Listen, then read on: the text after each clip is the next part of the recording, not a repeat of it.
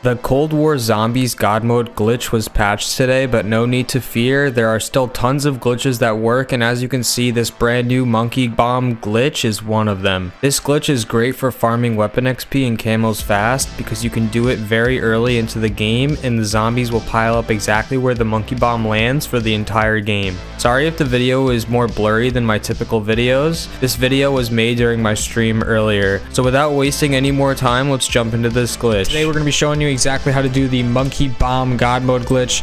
Now, to do this glitch is very simple. All you need is you and one other player. All you're going to have your, your teammate do is throw a monkey bomb at the wall. Going to bounce off the wall and end while the monkey bomb is midair. the host is going to pause the game and the person who threw the monkey bomb is going to leave the game. That's it. After once that person's left the game, you can start the match back. You can unpause the match. The monkey bomb will hit the ground. All the zombies will pile up right where the monkey bomb is once that's done, you're gonna have your teammate just join right back in. Once your teammate's back in, it'll still work. The zombies will still pile up where the monkey bomb is. So I'm gonna show you guys it right now. I'm gonna kill this zombie and then we'll do it. All right, ready? Ready? Yeah, I'm ready.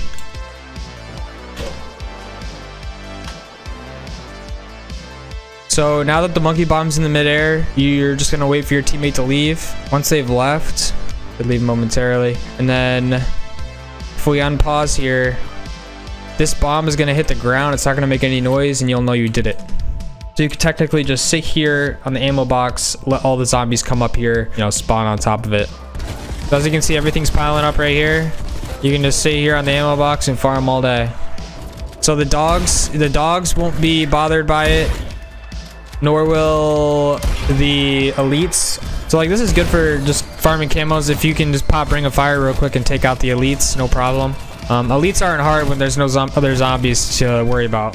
Just so you know guys, you can do this anywhere on either Die Maschine or Firebase. I would suggest throwing the bomb near an ammo box so you can stand there and reload if need be.